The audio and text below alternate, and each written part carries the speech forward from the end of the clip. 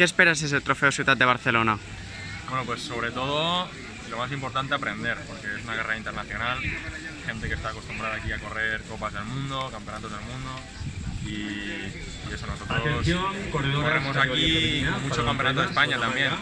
Entonces, pues sobre todo aprender y bueno, si podemos rascar algo también, pues intentarlo. ¿En qué pruebas participarás? Pues en todas las de fondo, o sea, el Omnium, serán el Scratch, Tempo, Eliminación y Puntuación. Y luego ya por la noche en la Madison. ¿Crees que podrás obtener algo- un buen resultado? Bueno, como ya te, ya te digo, es complicado porque hay mucho nivel, pero en las pruebas así que sean un poco más cortas, bueno, yo me considero rápido, pero bueno, eso.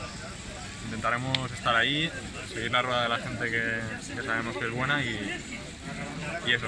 Intentaremos algún top 5 si puede ser, o top 10, pero bueno, no, tampoco, como tampoco hemos corrido nunca con esta gente, pues no sabemos a dónde podemos llegar.